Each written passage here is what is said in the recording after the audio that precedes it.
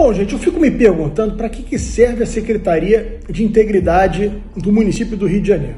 Primeiro, é nomeado fantasmas da prefeitura, nomeados pelo próprio Calheiro, que é o secretário de Integridade. Nomeado cunhado na prefeitura, que também não pode por conta das regras de nepotismo.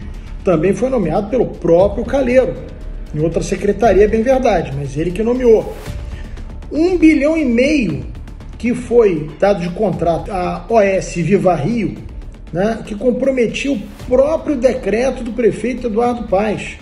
O próprio decreto era contrariado.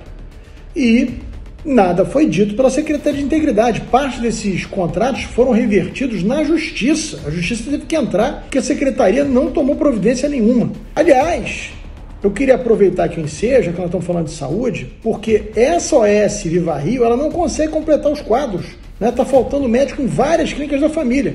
E o Fachel, apresentador do Bom Dia Rio, que todo dia entrevista o Daniel Sorange aplicando vacina, todo dia lá parabeniza o Daniel Sorange, poderia aproveitar o ensejo e perguntar para ele quando é que ele vai completar né, esse quadro de médicos, já que ele tomou a decisão de tirar uma empresa pública e botar uma OS, toda ela enrolada com o município, para prestar serviço novamente.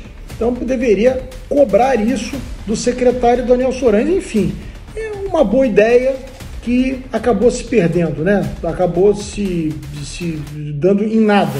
Né? Mais uma boa ideia que fica pelo caminho.